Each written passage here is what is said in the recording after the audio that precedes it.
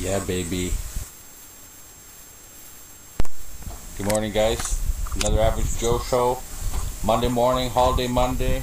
We've already thrown the line in at our favorite spot. We got our our companion here today, the fish, uh, the bird over there. Anyway, here's the first little guy we caught already. Average Joe show. We're just getting rolling here. Okay, guys, back on shore here at 89. Gonna do a, gonna see how these guys made out here. Okay. I already talked to him, so here we go. Okay, dudes, couple nice pike here. Where did you catch them?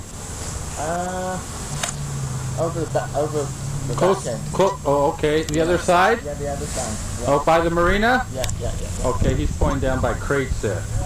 So we got a little baby there, and we got one at about six pounds, seven pounds maybe. Looking good, dude. Looking good. Looking good. Alrighty, guys.